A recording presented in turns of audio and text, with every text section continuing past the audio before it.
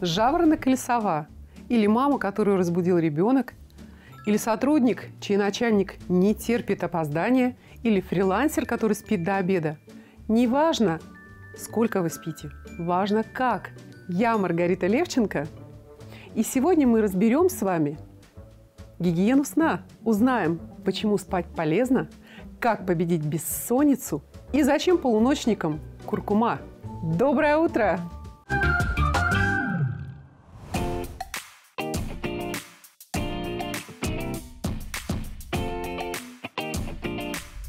Когда вы проснулись и чувствуете, что вы уже устали и вам нужен ресурс для того, чтобы ваш день был наполненный, активный, можно сделать прекрасную гимнастику.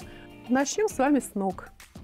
Встали, вот еще сонные, и начинаете раскачиваться. Пятка, носок, пятка, носок. Потом можно подключать уже руки. И вот таким вот образом делаете. Пятка, носок, пятка, носок. Сколько делать, ну, как вы чувствуете. Я буду показывать понемножку, вы можете делать дольше. И затем останавливаемся и начинаем мягкие круговые движения делать тоже. Мы еще практически расслаблены, но мы уже активизируемся. В одну сторону, а потом в другую. А потом можем взять ногу в сторону отставить и вовнутрь еще взбодрить свое бедро, тазобедренный сустав в одну сторону, а теперь к наружу. Прекрасно. Поменяли ногу. Делаем по 4, 5, там 8 раз. Зависит от вашего состояния здоровья. Главное, делайте с настроением. В одну сторону, а теперь в другую. Хорошо. А теперь можем вместе. Смотрите. Раз, два, три, четыре, пять, шесть. А теперь к наружу. Раз, два, три, четыре, пять, шесть. И потом прекрасно покачали бедрами. Очень мягко. К одной руке, другой. И раз, раз, раз, раз, раз, раз, раз, раз. И теперь присели. Очень мягкие круговые движения. Совсем легко. Если получается поактивней и побольше амплитуды, тоже включаемся. Раз, два, три, 4. Потом мягко останавливаемся и начинаем с небольшой амплитудой теперь в другую сторону. А, раз, два, три, четыре. Прекрасно. И пообнимали себя. Это важно. Самое главное – объятие. Они нам дают настроение. Хорошо. И теперь мягко наклоняемся то в одну сторону, то в другую, не напрягаясь. Будем свою спину. А теперь в одну сторону. Потянулись за рукой. Делаем под настроение. Столько, сколько раз для вас это комфортно. Хорошо. Обняли талию, пальцы большие сзади. И сводим лопатки. Обводим свою талию руками. Раз, два, три, четыре. И раз, два, три, четыре. Теперь переходим повыше. Лопатки сводим. Раз, меняем руки. То одна сверху, то другая. Раз, два, три, четыре. И раз, два, три, четыре. К голове руки. Отводим локти назад.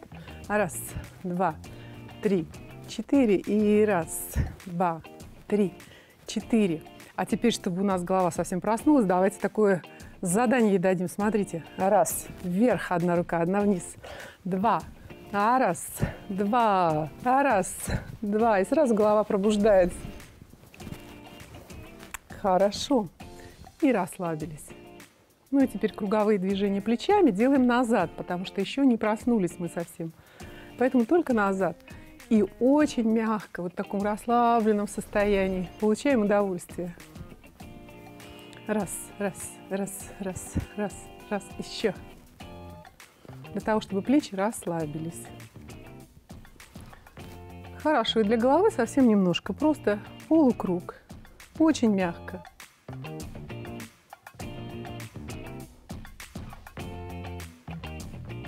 Отлично, расслабленная голова, потихоньку растягиваем. И теперь немножко сделаем упражнение для шеи подбородок вперед, И пальчиком как бы отпускаем подбородок шеи. Раз. И тянем затылок кверху. Расслабились. Еще раз вперед. К шее. Раз. И тянем затылок кверху. И вытягиваем весь наш позвоночник. Еще раз. К шее. И затылок кверху. А теперь мы сделаем замечательное упражнение, при котором мы потянем весь позвоночник. Но важно сделать его правильно. Смотрите.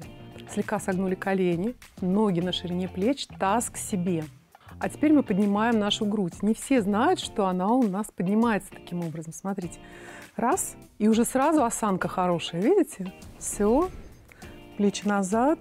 Кому непонятно, давайте потренируемся. Раз. Как будто вас за канат тянут за грудь вверх. Раз.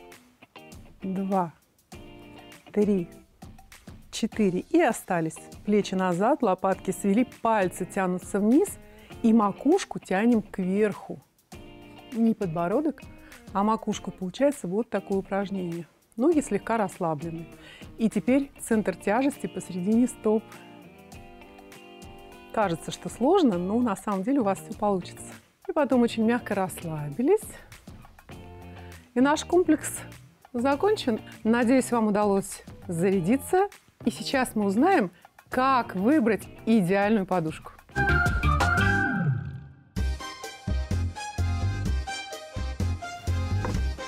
Проснись и пой. Легко сказать. Бывает так, вы проснулись, а ваша голова будто нет. Да еще и разболелась, а вам на работу. Да еще и шея какая-то напряженная, как будто вы всю ночь лошадкой работали. Детишек в карете катали. Ну и кто виноват? Хм, может, подушка? Ты, ты, а может быть ты? Между прочим, некоторые врачи советуют и вовсе отказаться от подушек. Вот так. Почему? А потому что во время сна позвоночник должен быть прямым, а шея не должна сгибаться. Хм, спартанский какой-то сон. Но идею стоит взять на заметку. А если все-таки с подушкой? Так, а какая у нее задача? Поддерживать шею, если вы спите на спине, и заполнять пространство между плечом и головой, если вы спите на боку. Ну и как выбрать то, что подходит именно вам? Подруги насоветуют, в магазине зубы заговорят, реклама очарует. Все просто. Дружите с головой. В прямом смысле. Прислушивайтесь только к своим ощущениям. Итак, ортопедическая подушка. Посмотрите, какое у нее здесь углубление. Выбор невероятный. Где-то есть именно ваша. Бьюти-подушка. Создана для того, чтобы ваше лицо не мялось во время сна. Попробовать в любом случае стоит. Но если вы чувствуете, что подушка вам не подходит, вам неудобно на ней лежать, Отказывайтесь от нее, сколько бы ни стоило. Голова-то дороже. И шея. Или лайфхак. Отправляйте неудобную подушку в ссылку на другой конец кровати. В ноги. Спасетесь от варикоза, да и просто хорошо отдохнете за ночь. И еще лайфхак. Есть специальные подушки, вот такие. Думаете, эта подушка только для будущих мам? А кто сказал, что все остальные не имеют права на комфорт? Такая подушка для того и создана, чтобы вы устроились на ней, если болит шея, поясница или ноги. А если вам ночью обнять некого, подушка тут как тут. Да и не храпит. Так что долой предрассудки. В отношении с подушками главное взаимность. Тогда и спать будете по-человечески. У меня в гостях сегодня врач-сомнолог. Это специалист, который знает о сне больше, чем кто-либо. И зовут доктора Наталья Белинская. И она нам сейчас расскажет, что такое здоровый сон, причины, по которым мы перестаем спать, и что же нам делать, чтобы снова его вернуть. Доброе утро, Наталья. Доброе утро, Маргарита. Вы знаете, такая удивительная специализация. Когда я начинала работать в медицине, а это было очень давно, я не слышала тогда что есть такая специализация. Когда я начинала учиться в медицинской академии, я тоже не знала о том, что есть такая специализация, как медицина сна. Но э, я увидела, как во сне не дышит мой папа, как потом выяснилось, это был синдром обструктивного апноэ сна, и э, Оказалось, что в Москве на тот момент уже работали врачи-сомнологи, проводили диагностику, лечение не только сонного апноэ, но и бессонницы и других расстройств сна. И вот так вот я связала свою жизнь с медициной сна и занимаюсь этим уже больше 16 лет. Какой лучший матрас для того, чтобы высыпаться качественно?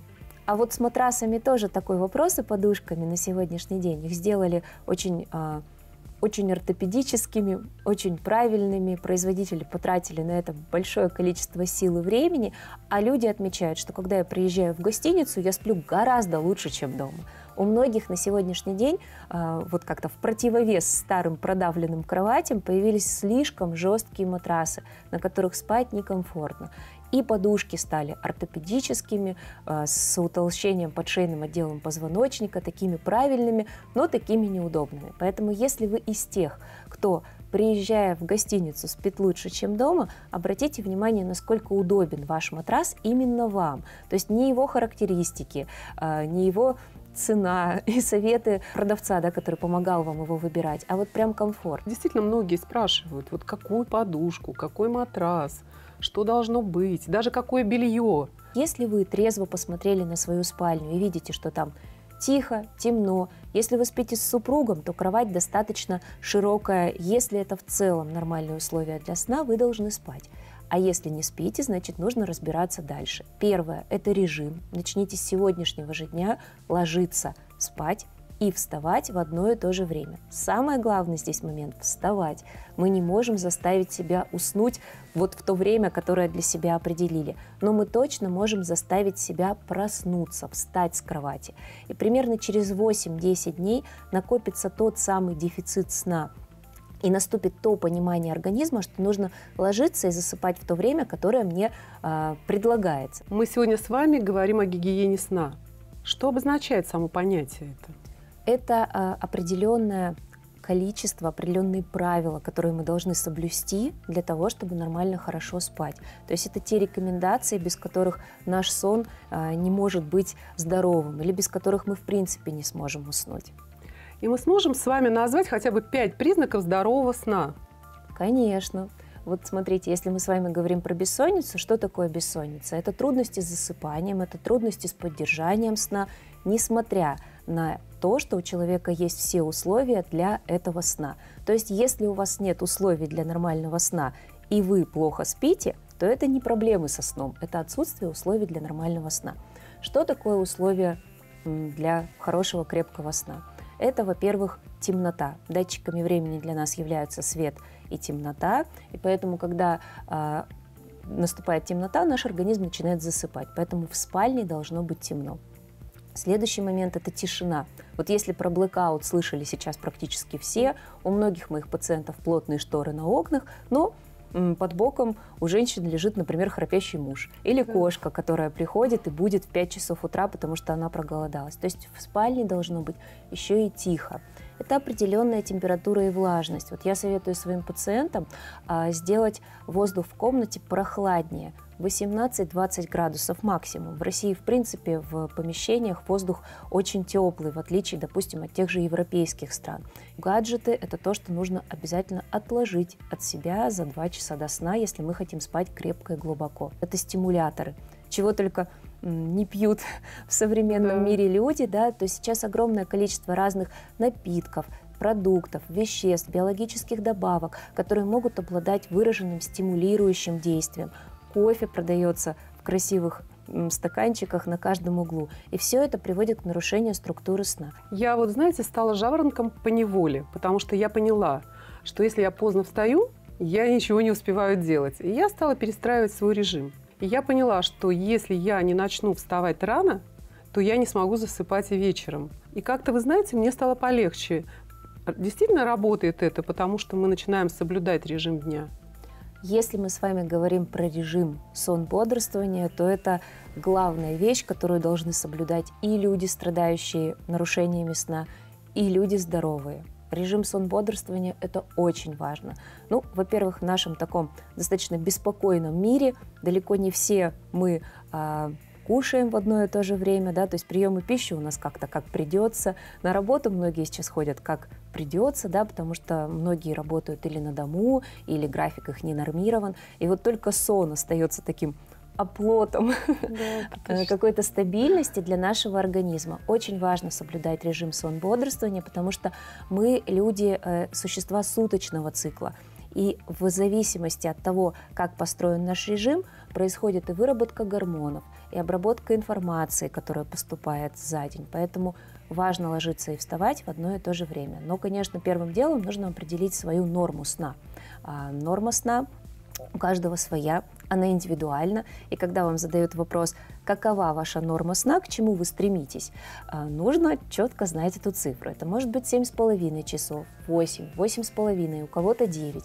В среднем норма сна от 7 до 9 часов в сутки. Но есть люди коротко спящие, которым достаточно поспать 5-6 часов для того, чтобы чувствовать себя совершенно отдохнувшими. И люди долго спящие, которые спят и по 10 часов в сутки, и без этих 10 часов они не будут себя э, хорошо чувствовать. Поэтому важно определить свою норму сна, как мы ее определяем? Если в течение недели вы спите, например, по 7,5 часов каждый день, и в выходные вам не приходится досыпать больше, чем на час больше, ну, то есть поспали 8 часов и проснулись отдохнувшими, значит, всю неделю вы спали свою норму сна. Когда я своим подписчикам начинаю рассказывать про биологические часы, они начинают со мной спорить и говорят, что я жаворонок и все, я не могу по-другому. А некоторые говорят, что я сова и все. Да, действительно, генетически а, несколько обусловлены наши хронотипы. То есть, да, может быть, генетически в нас заложено, что мы человек с поздней такой фазой, да, засыпания и пробуждения. И тогда мы говорим о том, что это сова или жаворонок, или такой средний вариант, мы его называем голубем, да, ну то есть а, подходящий... Есть такой вариант? Да, да есть такой вариант. А это кто? Вот голубь? А это человек, который достаточно легко, ну то есть не очень поздно засыпает и легко, и готов проснуться и рано, или поспать чуть подольше, то есть mm-hmm. такой средний вариант, очень удобный как раз для города и жизни и работы. Но генетически э, наш хронотип обусловлен всего лишь на 50%, даже чуть-чуть меньше. А все остальное – это наш образ жизни. Я хочу сразу сказать про сов. Это такая одна из моих любимых тем хронотипа, потому что я вижу проблемы, которые возникают у людей, которые приписали себя к какому-то хронотипу и не то чтобы следуют ему, а списывают на него э, все свои какие-то э, сложности, например, с засыпанием или поздним пробуждением. Так вот, если вы тот человек, которому трудно утром проснуться, это не значит, что вы сова. То есть если вы с трудом засыпаете вечером, утром с трудом просыпаетесь, сонливый днем, да готовы еще где-то днем поспать, не приписывайте себя к сове в первую очередь нужно оценить, насколько вы активны во второй половине дня. Для сов характерно не столько позднее пробуждение. Поздно просыпаются и просто люди, не соблюдающие никакой режим или которые неправильно питаются, то есть много кушают перед сном и углеводной пищи. А вот а, как раз активность в вечернее и ночное время для сов характерна. То есть если уровень вашей а, умственной активности очень высокий, после 8 часов вечера, 10 вечера, 12 часов ночи, то действительно возможно вы сова. Если вы приписали себя к сове, то это не безрежимный человек, это человек с особым своим определенным режимом. Действительно, вы можете ложиться тогда, допустим, в 2 часа ночи, просыпаться в 10 часов утра или ложиться в 4 часа ночи и просыпаться в 12 часов дня, но проводить весь день активно – и, соответственно, распределять приемы пищи, потому что совы еще грешат тем, что, как я уже сказала, в 12 ночи красивый ужин никто не накрывает, а вот там быстренько порезать бутерброд вполне могут. Да? То есть э, в плане питания у сов тоже есть большие проблемы. И этот режим вы должны соблюдать постоянно. Конкретных сов и жаворонков не так уж много. Все остальные мы можем подстраивать свой режим в зависимости от своего э, образа работы, образа жизни – Поэтому подстраивайте так, как удобно, и соблюдайте четкий режим. Качество сна влияет все-таки на иммунитет? Качество сна влияет на все. И на иммунитет, и на наши когнитивные функции. Вот я помню, моя бабушка говорила, с бедой нужно ночь переспать, утро вечером мудренее. Да? Почему это так? Потому что когда мы засыпаем, именно крепко засыпаем и циклично спим, а не просто ложимся отдохнуть. Происходит а, переработка информации, то есть все, что мы получили за день, раскладывается по полочкам. И если ты хорошо поспал, даже после какого-то такого серьезного неприятного события, замечали наверняка, открываешь глаза и ощущение, что как будто этого вообще никогда не было. Пытаешься вспомнить, реально ли что-то было вчера вечером, или мне это приснилось. А вот если не доспал, то с утра просыпаешься на той же самой такой тяжелой мысли, да, как будто вот совсем не отдыхал. Так как же недосып влияет на наш организм? Весьма негативно. В первую очередь это когнитивные функции, память, внимание, да, концентрация внимания. А, это вообще желание в целом работать, начинать какие-то новые проекты. Это снижение физического тонуса, то есть не хочется заниматься спортом, когда ты ночью плохо спал.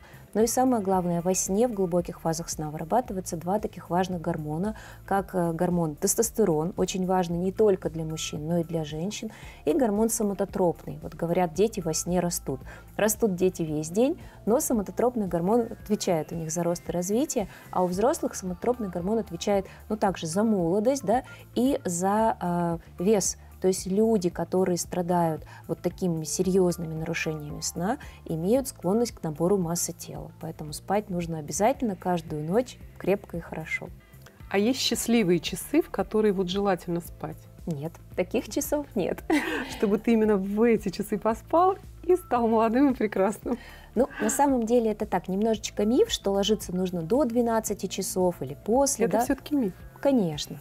А, наш организм не совсем понимает, сколько времени на часах. Главное, чтобы это время было постоянным. Мелатонин начинает вырабатываться у людей, которые соблюдают режим, за час-два до отхода ко сну. И неважно, ложитесь спать вы в 10 часов вечера или в 2 часа ночи. Если это ваш фиксированный режим, и вы проводите вечер а, достаточно активно перед тем, как ложитесь спать, то ваш мелатонин просто начнет вырабатываться не в 9 часов вечера, а, например, в 12 часов ночи, но от этого его выработка никак не будет меньше или короче, да, то есть это будет один и тот же процесс, просто в другое время суток. Очень много нового для себя отметила, и если подводить итоги нашей сегодняшней беседы, что же нам нужно делать, чтобы мы могли начать засыпать хорошо, просыпаться бодрыми, и наш день был продуктивным?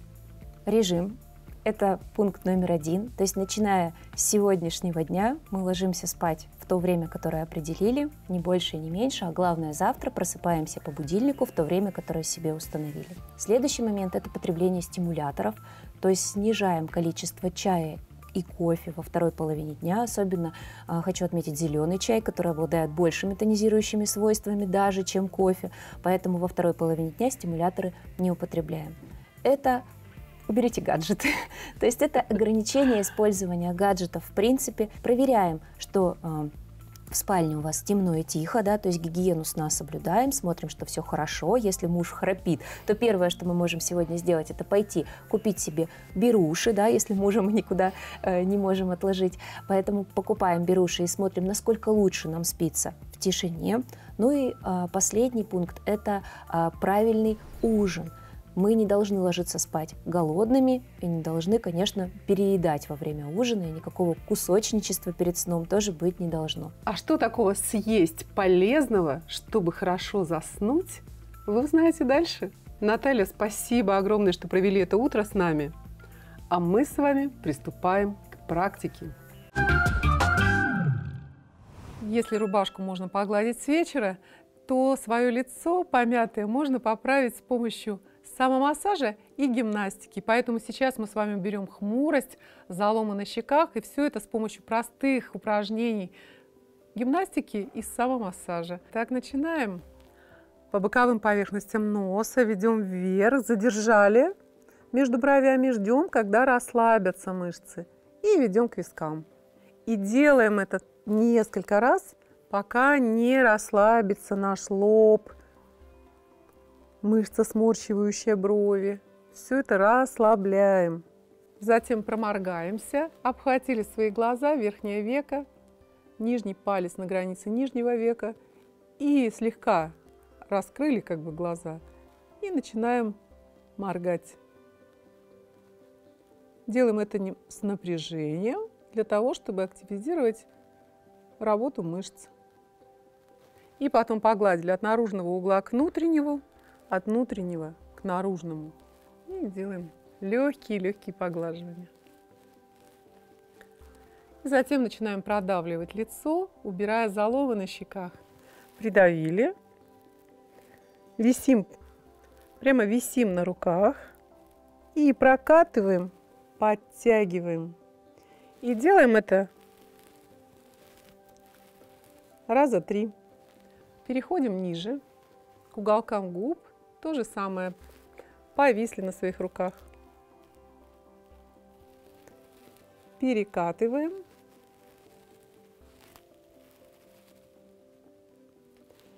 И идем на овал лица. И подтягиваем. Подтягиваем. Если вы заметили, я не тяну кожу, я перекатываю руки и слегка подтягиваю сверху. И теперь мы поднимем свои щеки. Будем тянуть руки вверх, а нижнюю челюсть напрягать, пытаться открыть вниз. Но делаем аккуратно, сильно не напрягаем.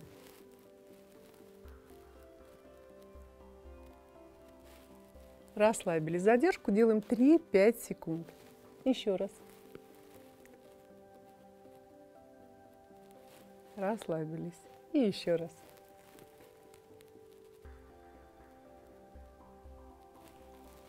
И затем погладили лицо по массажным линиям. Также лоб.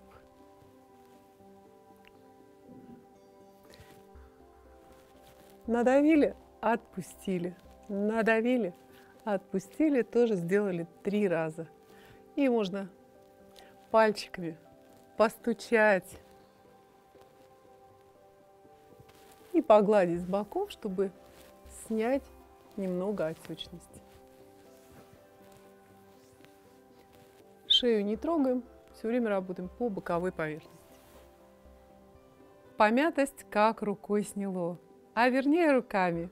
А вы знали, что на Руси для борьбы с бессонницей нанимали женщин-чесальщиц? А как еще притянуть сон, вы узнаете в нашем сюжете.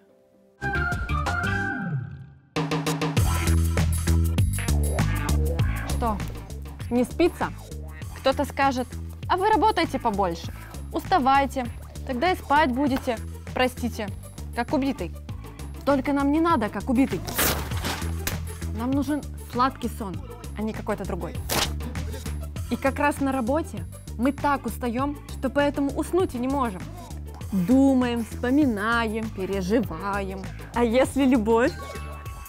И пока все непонятно, ходишь как в тумане или как с похмелья. Так вот, хмель нам в помощь. Лучше внутрь. Не то, что вы подумали. Шишки хмеля. Измельченные, конечно. Некоторые советуют набивать ими подушку. Но если вы не на отдыхе и не на фрилансе, дело рисковое. Как разоспитесь. И не забывайте, среди нас могут быть аллергики. Вдруг ваша вторая половинка возьмет да расчихается. Какой уж тут сон. Если у вас нет аллергии на хмель, попробуем его заварить. Часами готовить волшебные отвары не нужно берем две ложки хмеля, высушенного и измельченного, разумеется. Заливаем двумя стаканами кипятка.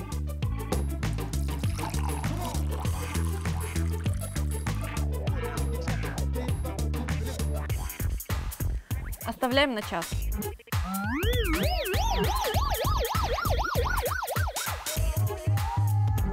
Процеживаем. Выпиваем за день в 2-3 приема. Есть еще рецепт. Берем 2 чайных ложки хмеля, заливаем литром кипятка настаиваем 6 часов, принимаем по полстакана трижды в день до еды. А если пить отвары вам не хочется, добавьте стакан заваренного хмеля в ванну перед сном. А теперь хотите лайфхак? Волшебник. Допустим, вам не спится. Тут самое время вспомнить. Может быть, кто-то посоветовал вам хорошую книгу, а у вас до нее руки не дошли. Откройте, откройте. Посмотрим, на какой странице вы уснете. На первой или на второй. Что, вы все еще не уснули? Тогда спорим, у вас есть дела, которые вы тоже почему-то откладывали. Например, вы хотите изучить теорию струн, дописать отчет, построить планы на жизнь. Вставайте, вставайте, сейчас самое время. Вперед, изучать и созидать. Вот видите, как сразу спать захотелось. Народные рецепты, они такие разные.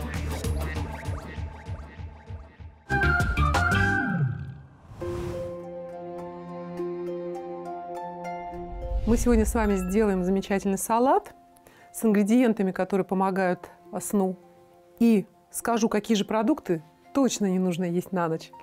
Сельдерей, он обладает мочегонным средством, и поэтому наверняка вы не сможете спать крепко. Убираем его.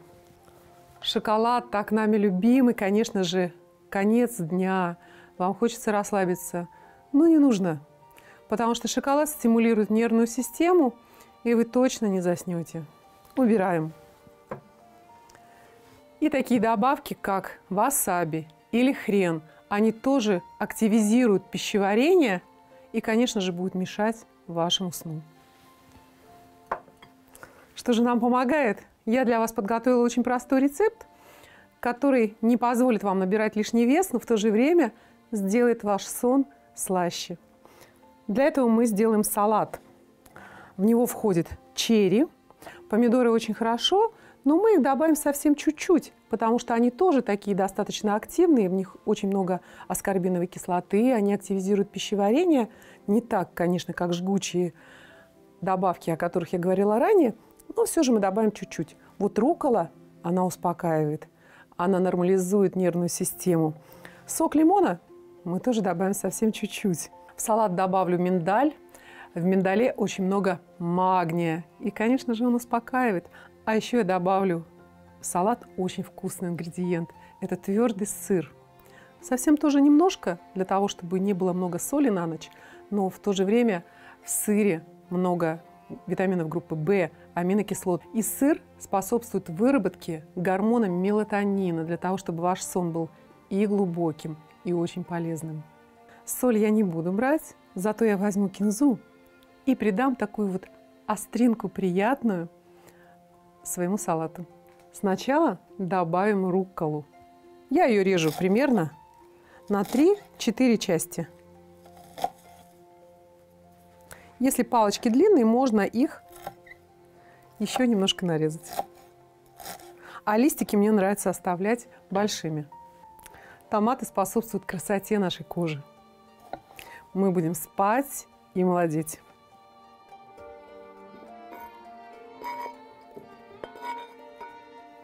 Кинзу я всегда беру для того, чтобы эм, добавить остроты, но в то же время кинза очень хорошо дезинфицирует весь желудочно-кишечный тракт. И пока мы спим, он будет э, обновляться. Миндаль предварительно замачиваю, потому что в них содержится фитиновая кислота. Ну так уж придумала природа для того, чтобы птицы, проглатывая орехи, разносили их по всей земле, и они не усваивались. И вот для того, чтобы уменьшить количество фитиновой кислоты, важно орехи замачивать. Я замачиваю обычно на ночь, потому что знаю, что я завтра буду, например, готовить, или просто взять их как перекус – я замачиваю в теплой воде, и они стоят и становятся очень мягкими, как будто бы только с куста, абсолютно молочными. У каждого ореха свой срок, на который их нужно замачивать. Вот миндаль как раз 6-8 часов. Я замачиваю на ночь, утром просыпаюсь, промываю, беру с собой на работу как перекус. Конечно же, орехи достаточно калорийные. И поэтому мы в салат добавим совсем немножко. Но так как они успокаивают, это важный ингредиент нашего салата. Так как кулинария для меня такое таинство и волшебство, мне очень нравится именно использовать ступку.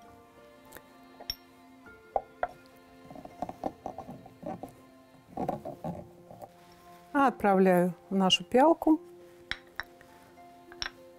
И теперь посыпаю тертым сыром. Поливаю оливковым маслом. Добавляя сок лимона, вы помогаете своей коже вырабатывать коллаген. И, конечно, защищаете себя от различных вирусных инфекций.